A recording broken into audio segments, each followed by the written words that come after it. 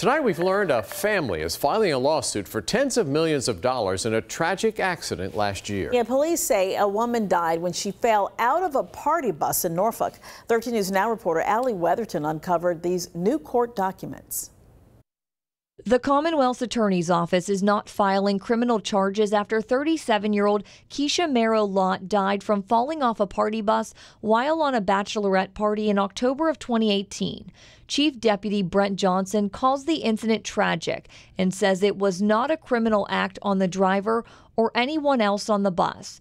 But according to this negligence lawsuit, Marrow Lott's husband, Jawoski Lott, is suing Michael and Shannon Wheeler for $25 million. According to this paperwork, the Wheelers owned and operated a party bus under the name Rolling with the Wheelers.